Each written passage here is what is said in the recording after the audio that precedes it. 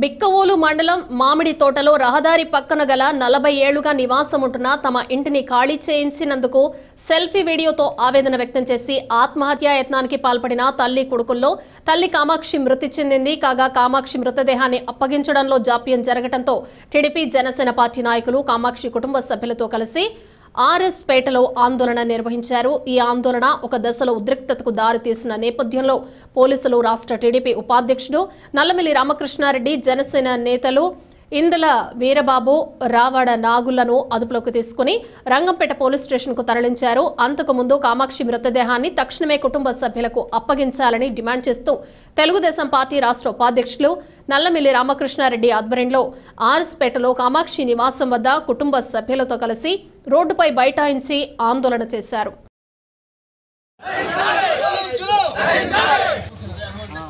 ఉండాలి పోలీసులు మృతదేహాన్ని మృతదేహాన్ని మృతదేహాన్ని మృతదేహాన్ని పోలీసులు పోలీసులు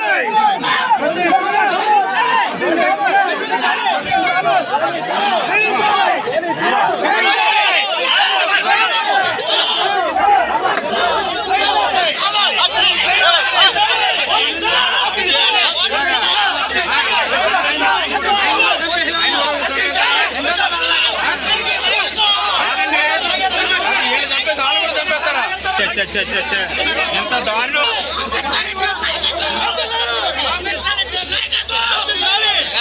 పార్ది పార్ది